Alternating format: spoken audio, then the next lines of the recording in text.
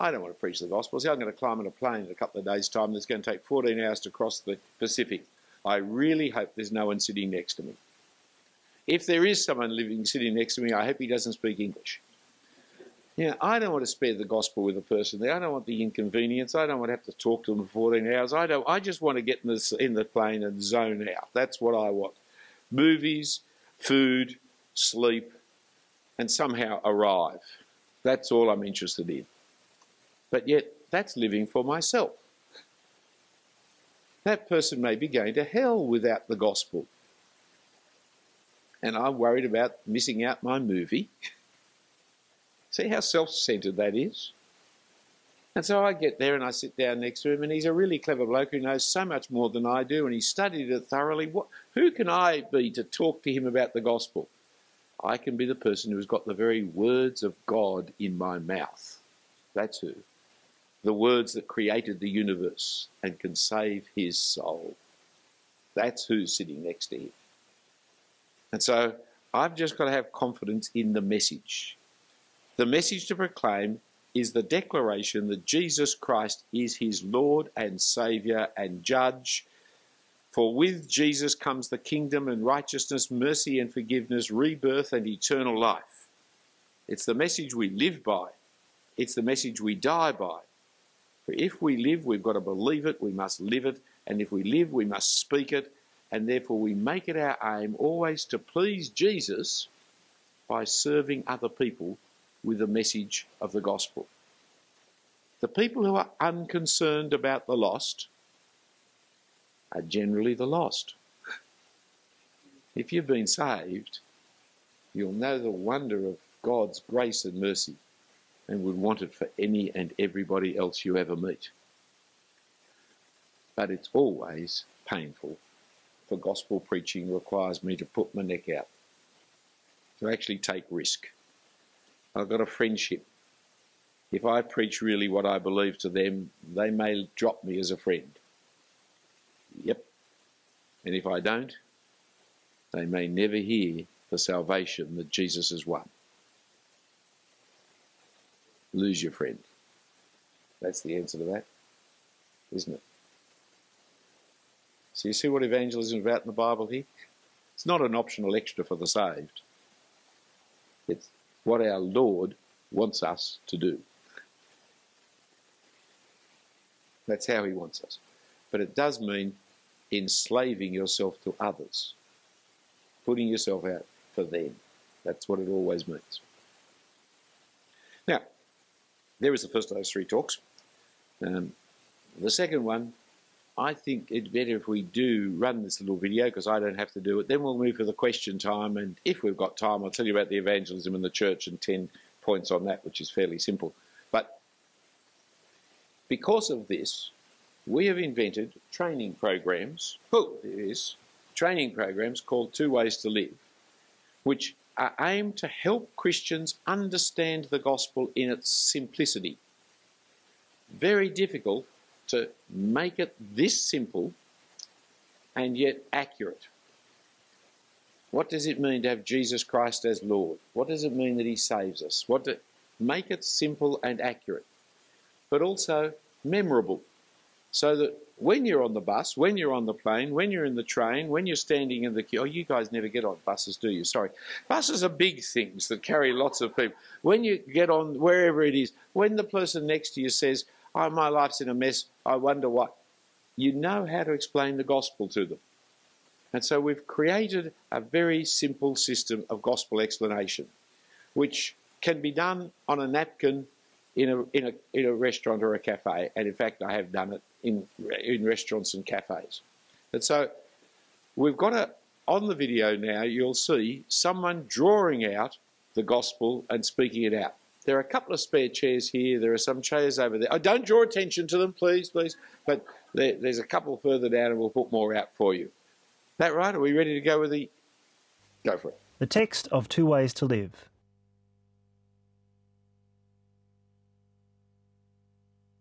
God is the loving ruler of the world.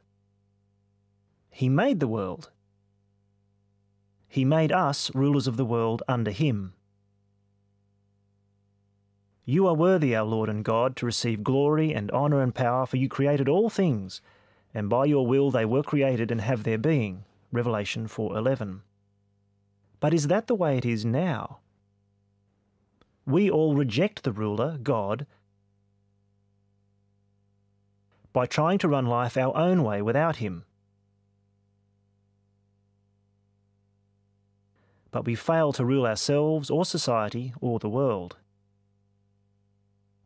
There is no one righteous, not even one. There is no one who understands, no one who seeks God. All have turned away. Romans 3 10 12. What will God do about this rebellion?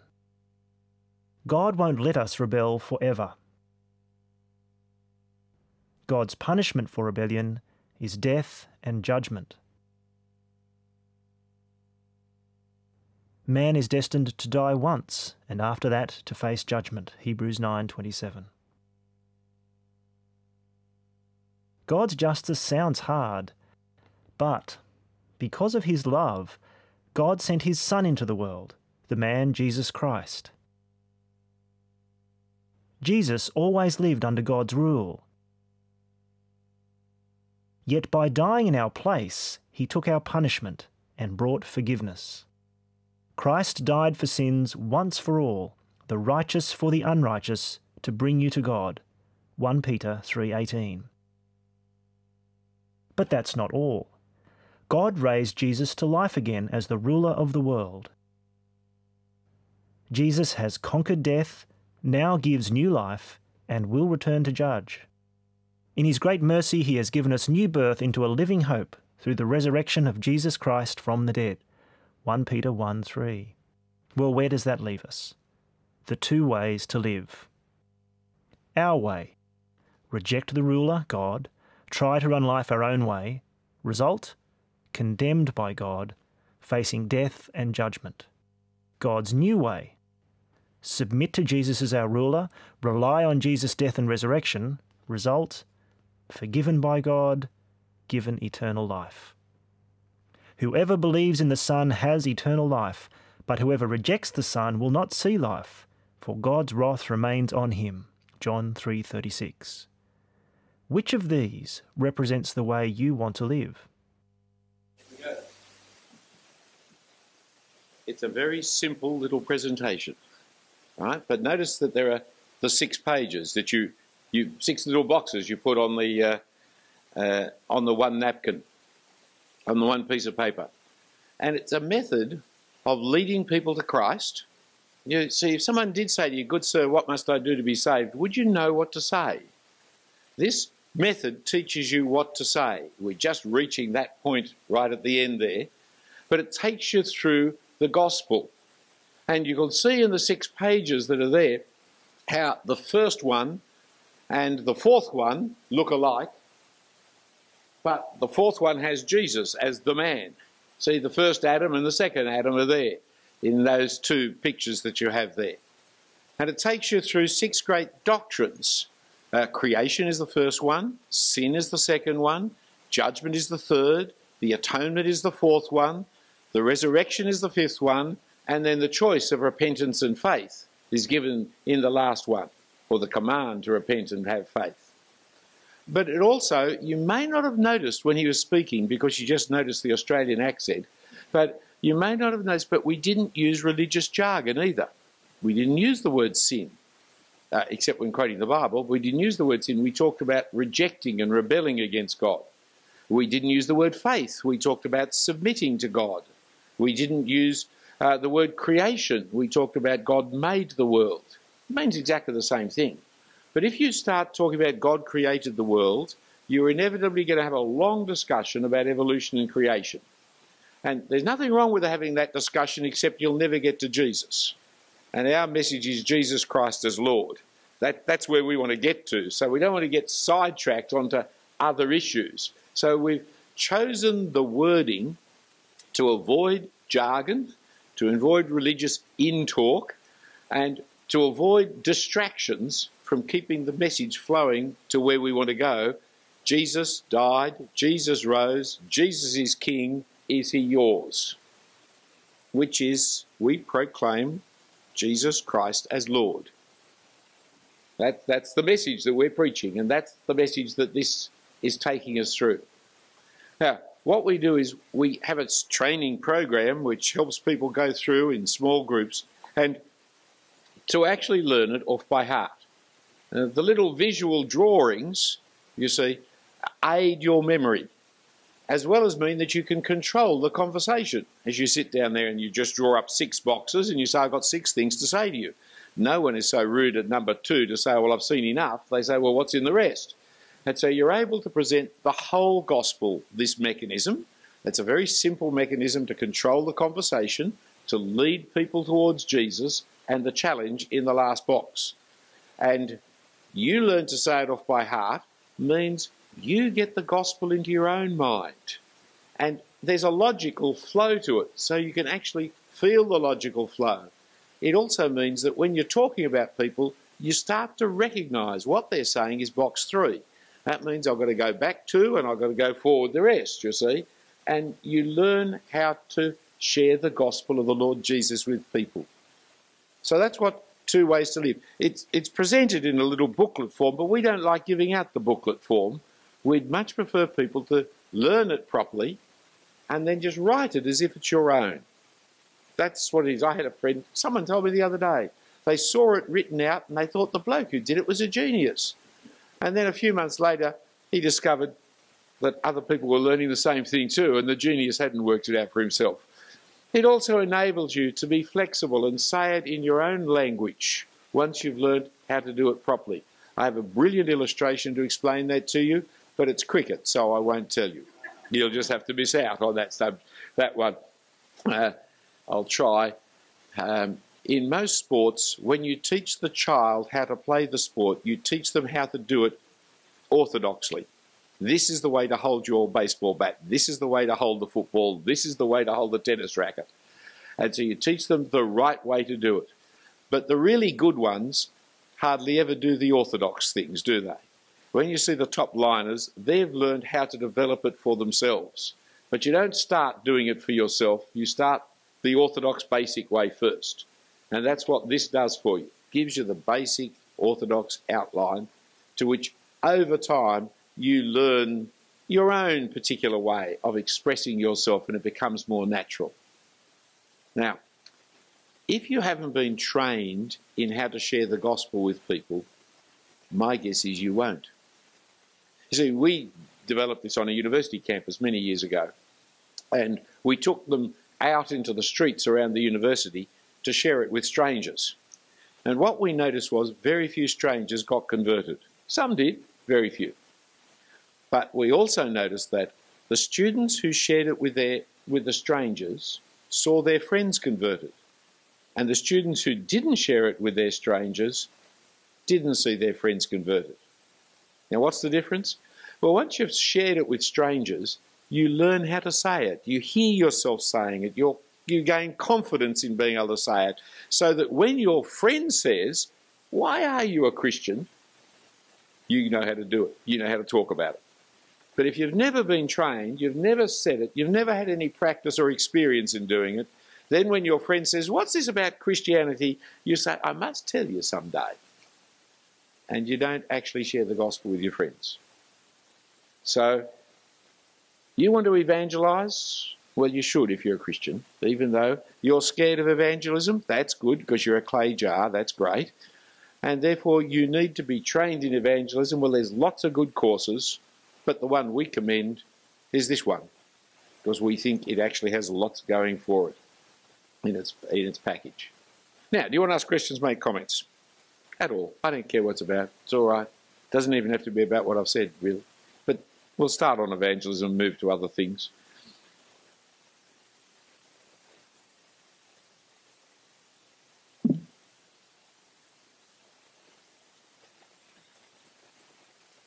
Yeah.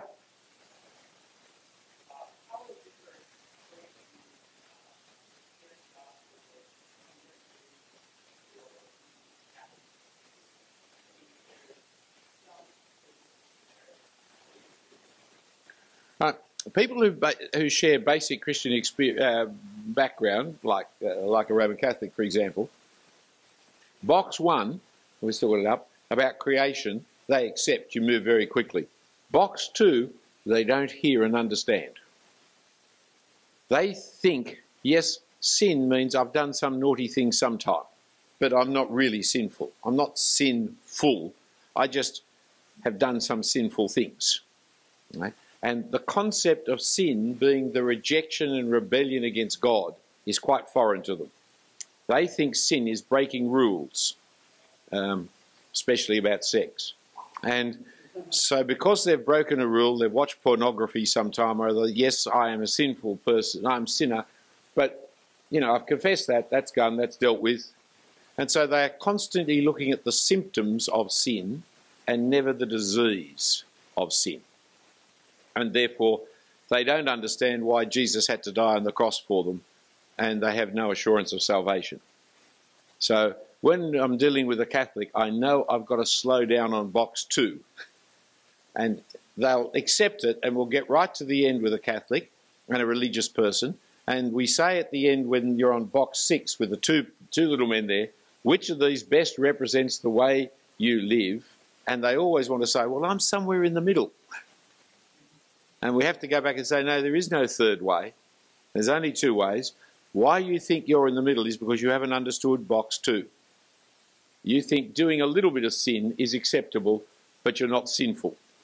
And you don't understand the reason you keep sinning is because you are sinful. Right? Out of the heart of man comes evil and uh, of all manner of lies and, and, and deceit, of, of, of greed, uh, of murder, of, of uh, false witness and uh, adultery. It all comes out of the heart. And so you keep on putting band aids on your cancer. Let's go back and deal with the relationship with God. That's where you move with religious people. Yep. But the beauty of this is you present it you know where the Roman Catholic's going to go to. You wait for it to happen and then take it back, take him back to it.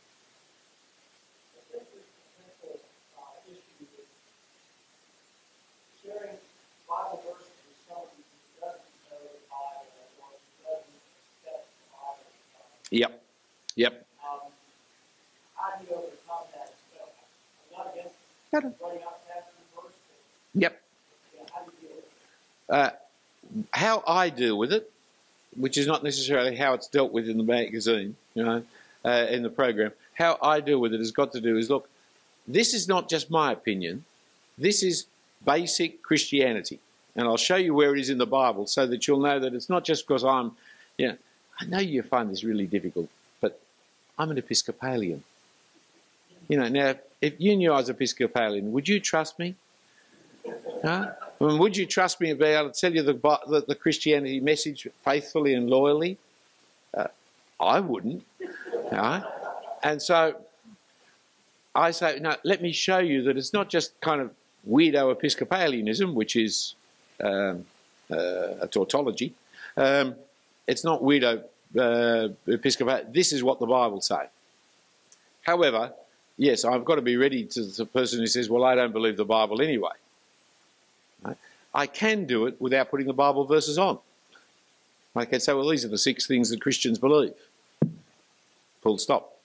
Or these are the six things I believe.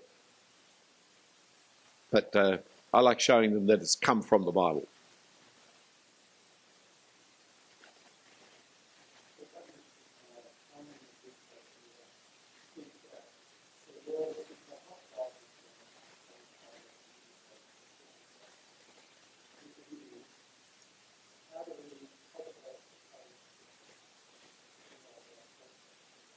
Two questions. Number one, I'm asking number one, which is not his question. Number one, uh, how many of you have previously seen this presentation of the gospel? Yeah, some of us. Good. Secondly, uh, Ian's question is, how many of you are finding or think the world is in America? I'll talk about Ohio. Let's be more specific. Youngstown. Let's be even more. How many of you finding that that the society around you is more hostile to Christianity now than five, ten years ago. Okay, then we have to have more courage, don't we? How do we move people to be talking about the gospel with us? See, in Australia, it is really hostile. We only have 2 to 3% of Australians who believe the Bible. uh, uh, or go to church in Protestant churches. Uh, so we're in a very different, more hostile environment than yours, um, uh, which is, is sad and it's bad. Australia is a lovely country, but just pagan, hedonism, materialism. Um, that's our country. And so people are very hostile, and all the more so because of uh, Muslims. We are put in the same category as the terrorists and Muslims uh, in, in their thinking. I'm a religious extremist. Religious extremists are bad, not Muslims. Religious extremists. There are nice Muslims, you see.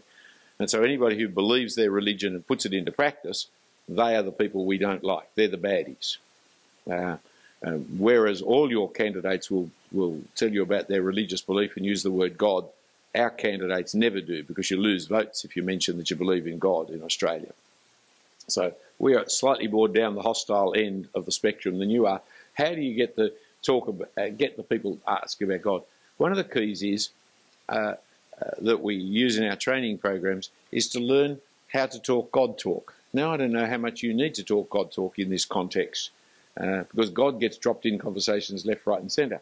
But one of our favourite words in Australia is, "Do you have a good weekend?" It's a good word. Uh, it's one single word. Have a good weekend. Uh, uh which, if I slow it down, you might actually know it.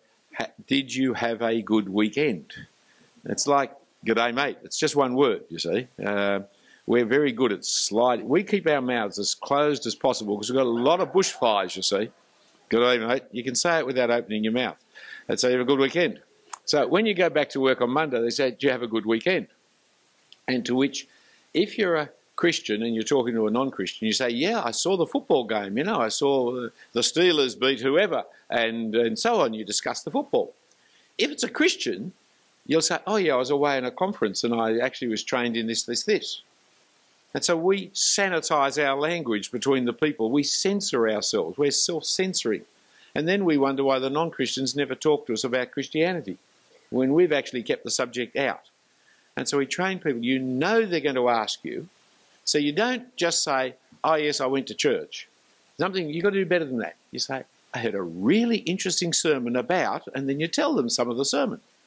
Now, that, that trails your coat. They can jump on it or they can ignore it as they want but at least you're giving the opportunity for the subject to be there and talked about.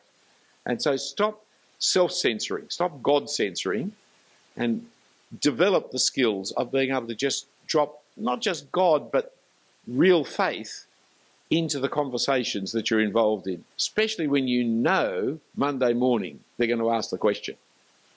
So set yourself up for uh, what do you call it, coffee break, elevenses, uh, whatever it is that you have in this country. Coffee. Set it up for the coffee time. Yeah.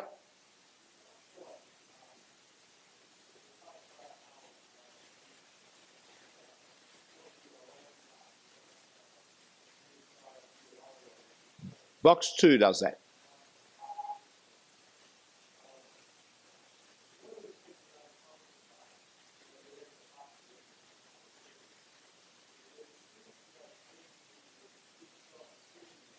Yeah.